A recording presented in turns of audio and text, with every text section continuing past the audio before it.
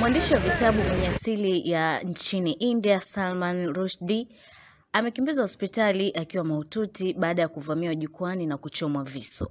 Tukio hilo limetokea jana Ijumaa magharibi mwa jiji la New York ambapo mtuhumiwa wa tukio hilo alikamatwa na polisi muda mfupi baada ya tukio hilo. Mwandishi huyo alisafirishwa kwa helikopta akiwa ameloa damu mwili mzima ambapo maafisa wa polisi wameeleza kuwa alichomwa visu takribani mara kumi hadi kumi na tano shingoni. Gazeti la Associated Press limeripoti kuwa mvamizi huyo alimvamia na kumjeruhi pia MC wa shughuli hiyo kabla ya kukamatwa. Mimi naitwa Nezia Morris na hii ni Global TV Online. Instagram na Facebook utapata kwa jina la Global TV Online na Twitter ni Global Habari.